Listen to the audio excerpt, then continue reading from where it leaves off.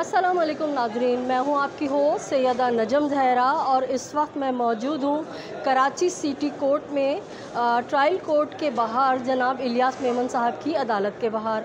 Nadreen और आज ही एक स्पेशल रिपोर्ट इलियास मेमन साहब ए डी जे सेवन की अदालत में पेश होनी है जिसमें उसके, और जनाब आज वो लोग भी पेश होने हैं, जिनके वारंट गिरफ़्तारी जारी किए थे राय राय खुर्रम और नूर मुनीर नूर बीबी और दीगर जो अफराद नामज़द हैं, उनका भी आज पेश होने का है। तो अभी की जो अपडेट है, वो मैं आपको बता दूँ कि मुलजिम ज़हीर और मुलजिम शब्बीर जो हैं, वो उनकी कस्टडी सिटी कोर्ट में आ चुकी है। मैं आपको बताती चलूँ कि जब इस तरह के केसेस होते हैं, मुलजमान को पेश किया जाता है तो जेल से जो जेल की गाड़ी होती है, उसके अंदर मुलजमान को लाया जाता है और मुलजमान को सिटी कोर्ट में बने हुए कई बड़े बड़े जो यहाँ पे आ, क्या कहना चाहिए कि कस्टडी रखने के लिए लॉकअप होते हैं उनमें उनको जो है रखा जाता है।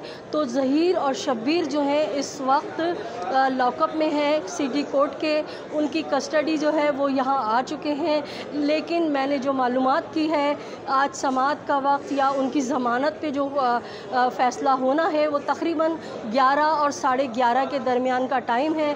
लेकिन जो मेरी मालूम है उससे मुझे ये पता चला है कि मुलजमान की ज़मानत का फ़ैसला शायद आज भी ना हो और डेट हो जाए। लेकिन कबल वक्त मैं इसको कंफर्म नहीं कह सकती। सिर्फ़ मेरे ज़राए ने मुझे कहा है कि ज़मानत का आज फ़ैसला नहीं होगा और ज़मानत जो है, हो सकता है तारीख दे दी जाए।